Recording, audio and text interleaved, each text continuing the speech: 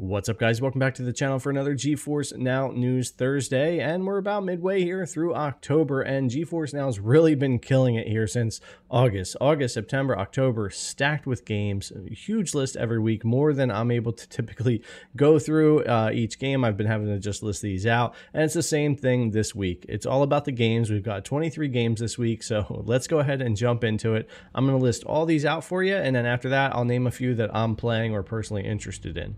All right, so let's go ahead and list these out. Forza Motorsport, new release on Steam and Xbox for Game Pass October 12th. From Space, a new release for Xbox on PC Game Pass October 12th.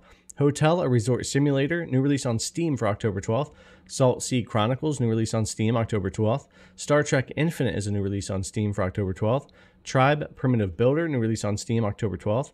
Lords of the Fallen, new release on Steam and the Epic Game Store for October 13th. Bad North, Xbox Microsoft Store. Call the Sea, Xbox Microsoft Store. For the King, Xbox Microsoft Store.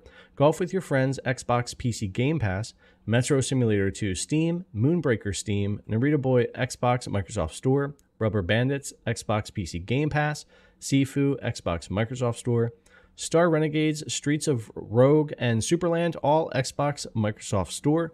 Supraland 6 inches under, Epic Game Store, The Surge, Xbox Microsoft Store, Tiny Football, Steam, and Yes Your Grace, Xbox Microsoft Store.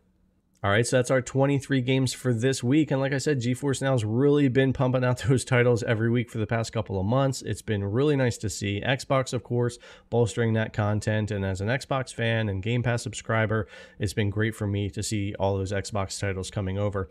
As far as the games I'm really checking out here, I've already been playing Forza Motorsport. This is one I've really been enjoying so far. I'm going to be checking out Star Trek Infinite as a Star Trek fan. It's not a huge title, but it's definitely one that I'm interested to put a little bit of time into and check out. And then another one for me here that I'm definitely trying out. I'll be testing on the Steam Deck, the Ally, GeForce Now, and that's going to be Lords of the Fallen. And that's, of course, your Souls-like, Elden Ring-like type game. So I'll definitely be checking that out. But uh, yeah, that's our news for the week, guys. 23 games, a lot of great titles titles here, but those are the few uh, that I'm into and checking out. I think GeForce Now has been doing a killer job the past couple of months. But anyways, guys, let me know what you'll be playing in the comments down below. Thanks a lot for coming to check out the video as always. I really appreciate it, and I'll see you guys in the next one.